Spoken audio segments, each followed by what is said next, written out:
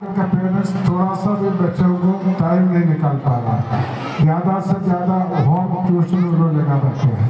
Home tuition करने से नहीं होगा। बच्चों के साथ बच्चा बनकर पेरेंट्स को साथ देना पड़ेगा। फ़र्स्ट टीचर पेरेंट्स उसके बाद सेकंड टीचर है। टीचर जो होता है स्कूल का टीचर जो होता है।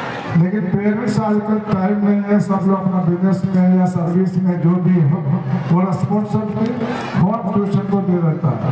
ट्यूशन का ट्यूशन बच्चों को देना नहीं चाहिए पेरेंट्स सबसे बड़ा केयर करना चाहिए। इंगेज पेरेंट्स पढ़ा नहीं पा रहा, तब तो टीचर का सपोर्ट लेना चाहिए ट्यूशन के लिए। लेकिन मेन फोकस उसमें बच्चों के लिए नहीं करना चाहिए।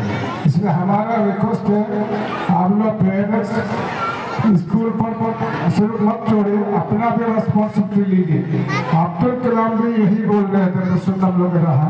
फ़र्स्ट टीचर पेरेंट्स है पेरेंट्स से फ़र्स्ट इनिशियली पेरेंट्स से बच्चे सीखते हैं। सेकंड स्कूलिंग से सीखते हैं। एक बच्चा पैदा होता है, उसका इनिशियल चलने के लिए पेरेंट्स सिखाते हैं टीचर नहीं सिखाते। इसलिए पेरेंट्स से रिक्वेस्ट है अगेन हम रिक्वेस्ट हैं आप लोग केयर कीजिए स्कूल को रिस्पॉन्सिबल पर मत छोड़िए। उसके बाद, यहाँ लगभग चालीस साल से स्कूल चल रहा है। इसी बिल्डिंग में चल रहा है। यहाँ के लोगों का बहुत सहयोग, प्यार से चला है। हम लोग केरल से आए हुए हैं। यहाँ के लोगों का भाई हार्ट सपोर्ट नहीं रहेगा आप इस लेवल में स्कूल नहीं पहुँचता उसमें हम लोग के है चौधरी जी का बहुत बहुत धन्यवाद देते हैं। उन्होंने शुरू से इनिशियल स्टेज से अभी तक साथ दिया है। और कुछ लोग हैं, अखिलेश जी है। अखिलेश जी शुरू से फिर उसके साथ है। वो भी भाई हर हर हर लेवल में सपोर्ट करते हैं। इस तरह बहुत लोग हैं, नाम हम ले रहे हैं। और शक्ति जी है।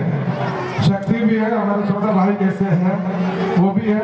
हर काम में साथ भी पुलिस बुलाएँगे, पहुँच जाएँगे।